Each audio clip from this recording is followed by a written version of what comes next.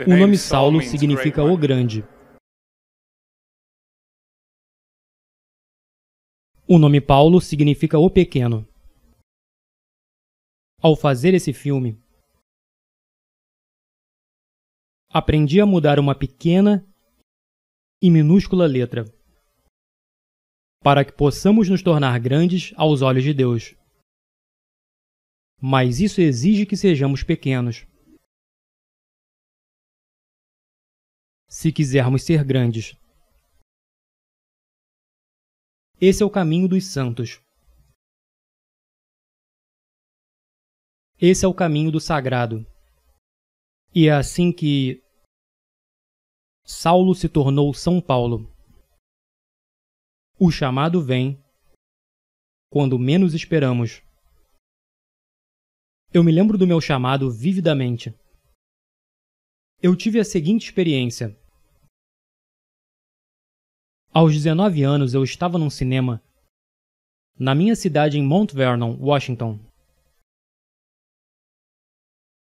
O filme acabou e lá na escuridão, com a minha única companheira, minha bola de basquete, na poltrona ao lado, eu tive uma sensação no coração. Me fez pensar que eu deveria ser um ator.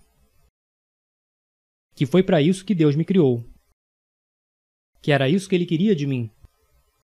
Sim. Minha sensibilidade racional interferiu. Eu não sabia nada sobre atuar, sem agente, sem empresário. Eu não consigo decorar os textos. Ainda assim, uma inspiração veio. Eu tinha um chamado. Mais à frente, na primavera de 2000, me foi oferecido o papel de Edmund Dantz no Conde de Monte Cristo. Foi uma nova adaptação do clássico Dumas, um período muito estressante. Pela primeira vez na vida eu senti o que é ser um ator principal. E eu me deparei com aquilo que eu almejava alcançar por tanto tempo, mas não tinha paz. Tudo nesse filme foi uma batalha. Meu personagem, Edmund Dantz, está preso injustamente. Tanto no livro quanto no filme, ele escreve com uma pedra na parede: Deus me fará justiça com tudo contra ele, aquele homem solitário se compromete a se libertar e vencer o mal, incluindo o mal que vive nele. Há uma cena maravilhosa entre Edmund e outro prisioneiro, um sacerdote, interpretado pelo grande Richard Harris. Numa profunda depressão, em um momento de total desespero, quando o sacerdote está no chão à beira da morte, ele se dirige a Edmund e diz sua lição final: Não cometa um crime pelo qual você está sendo condenado. Lembre-se do que Deus diz: a vingança é minha. Eu olhei para baixo e disse: Mas eu não acredito em Deus. E ele diz para mim: Isso não importa, Edmund.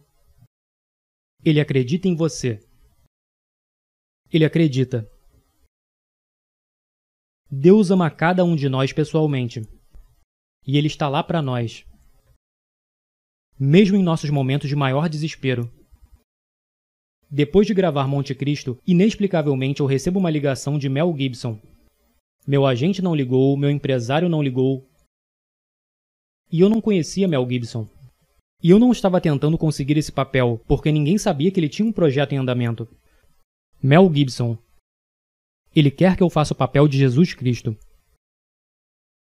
Ele quer o cara com as iniciais de JC, que a propósito tinha 33 anos, para interpretar Jesus Cristo. Isso é uma coincidência? Eu não acho que seja. A sua vida é uma coincidência? Ou seria uma oportunidade? Talvez alguns de vocês estejam deprimidos agora ou confusos, incertos sobre o futuro, feridos. Mas não é o momento de desistir, nem de se dar por vencido. Quando eu estava lá em cima na cruz do Calvário, aprendi que em seu sofrimento estava a nossa redenção. Lembre-se que o servo não é maior que o mestre. Cada um de nós deve carregar nossa própria cruz. Existe um preço pela nossa fé, pelas nossas liberdades. Eu fui literalmente açoitado, chicoteado, crucificado, atingido por um raio. Sim, cirurgia de coração aberto. É o que acontece depois de cinco meses e meio de hipotermia. Um dia, durante as filmagens, meu braço estava preso numa viga pesada. Então alguém me puxou para outra direção. Meus músculos torceram e meu ombro foi deslocado. Eu caí no chão, fui de cabeça na areia. E essa cena permaneceu no filme. Mais adiante no filme, o próprio Jesus experimenta o deslocamento de seu ombro. Bem, agora eu sei como isso é sentido.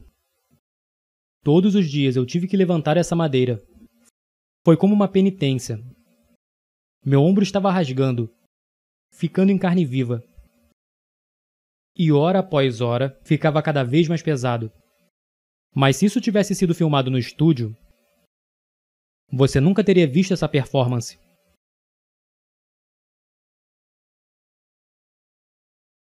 Esse sofrimento fez a minha performance.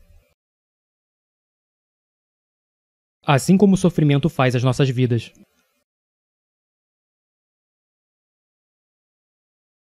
Alguns de nós nesse momento, e vocês os conhecem, se agarram a um falso cristianismo. De palavras bonitas, eu chamo isso de Jesus feliz e a glória. Pessoal, houve muita dor e sofrimento antes da ressurreição. E a sua caminhada não será diferente.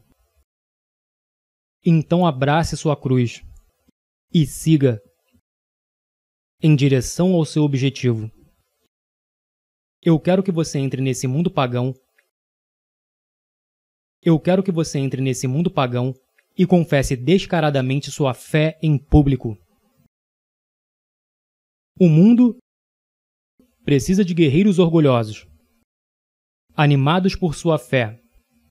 Guerreiros como São Paulo e São Lucas, que arriscam seus nomes e suas reputações para levar sua fé, seu amor por Jesus ao mundo.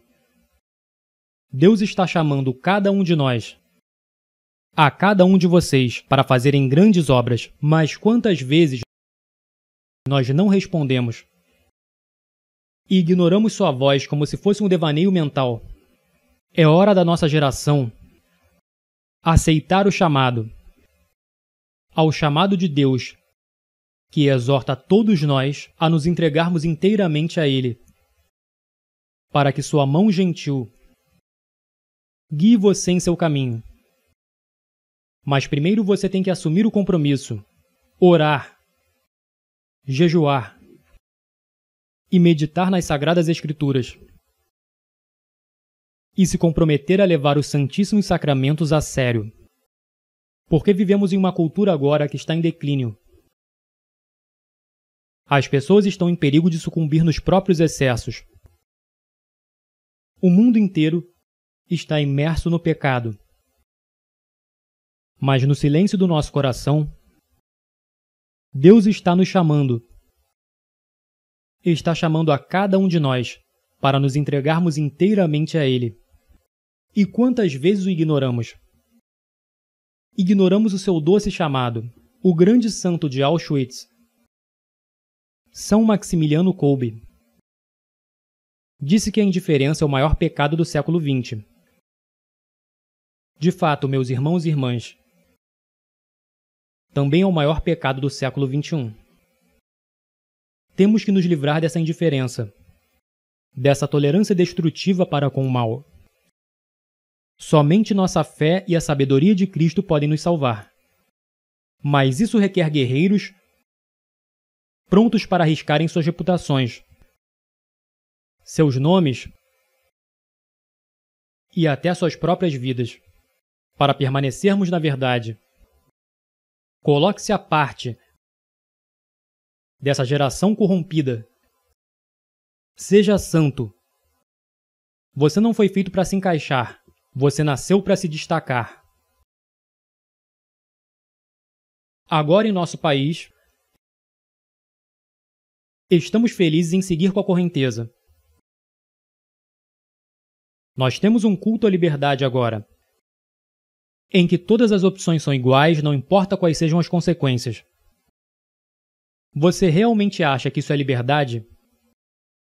O Papa João Paulo disse: A democracia não pode ser mantida sem quaisquer obrigações específicas, sem as verdades morais sobre a pessoa humana e a sociedade.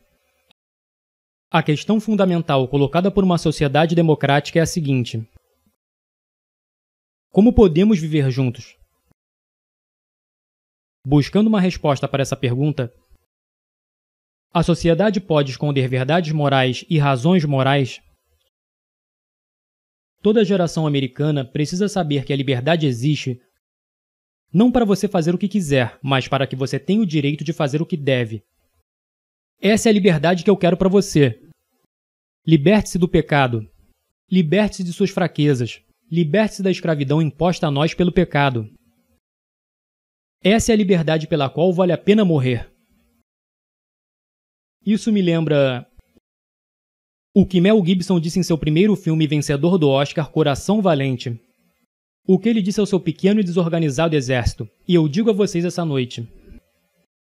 Eu vejo um exército inteiro de meus compatriotas aqui desafiando a tirania.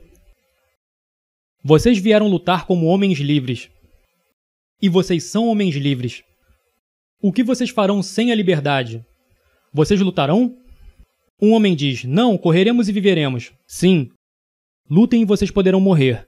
Fujam e vocês viverão. Pelo menos por enquanto. E quando estiverem morrendo em suas camas muitos anos depois, vocês almejarão negociar todos os dias, de hoje até aquele dia, pela chance, apenas uma chance, de voltar aqui e dizer a nossos inimigos que podem tirar nossas vidas, mas jamais tirarão a nossa liberdade. Todo homem morre. Nem todo homem realmente vive. Você, você, você, todos nós devemos lutar por essa liberdade autêntica e viver, meus amigos. Por Deus devemos viver, e com o Espírito Santo como seu escudo, e Cristo como sua espada. Junte-se a São Miguel e todos os seus anjos. Envie Lúcifer e seus capangas ao inferno de onde eles pertencem.